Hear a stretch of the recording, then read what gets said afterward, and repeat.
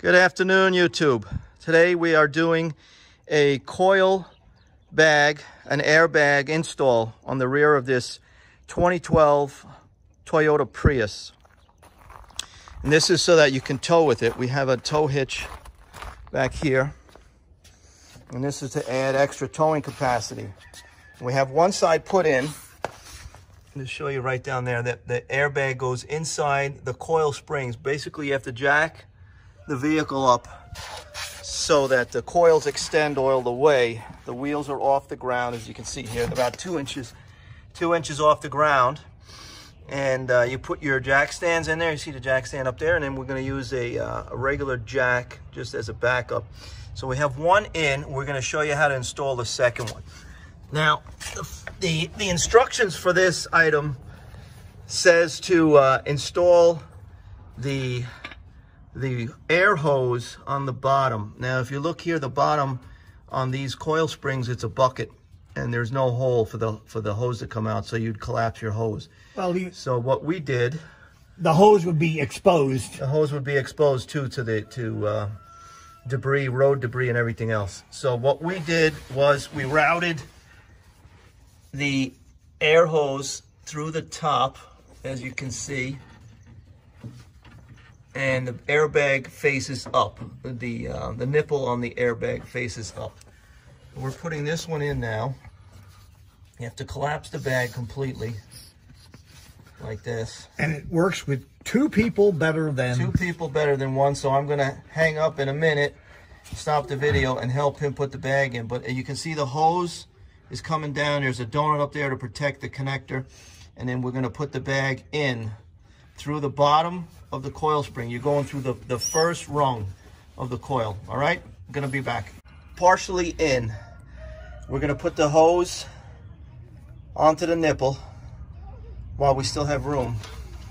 And the key to getting it in was to collapse the ends of the cans flat, like kind of like you would flattening a beer can. Both ends were folded in, so And then you slide it, slide it through slide the it in. side of the coil, through one of the rungs of the coil. Right.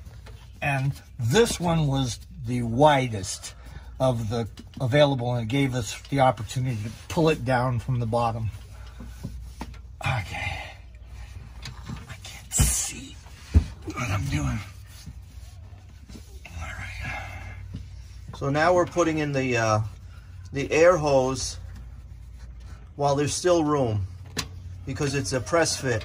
Once you, you push it in and you pull it out, it locks onto uh, locks onto the hose. So while it's still semi-collapsed, as you can see, we're going to uh, get I've that got, done. I've got to get it straighter. It's Yeah. too much of an angle. Okay, we'll come back.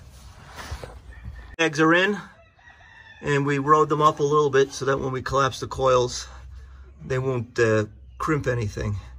So, let's see if I can get you in here and see. Probably not. The hose is up there.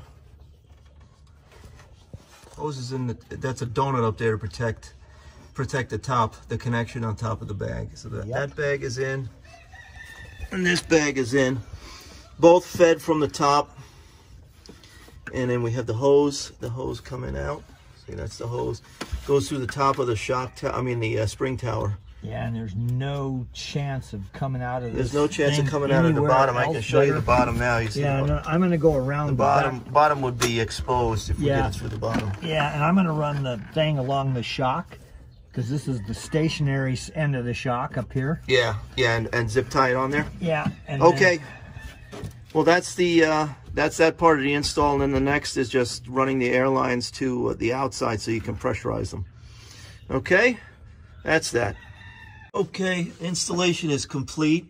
Car is back down on the ground. Bags are at 12 psi each. You can see they're kind of squeezing out a little bit of the of the springs. This one you can see a little better. Okay.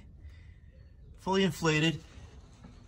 And we have the the air lines are right here on the bumper on either side either side of the my finger in the way either side of the the tow hitch.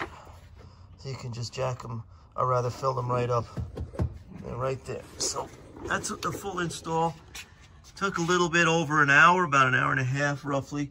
And most of it was just trying to get the the bag squeezed in to the uh, to the springs. That is the end of that project.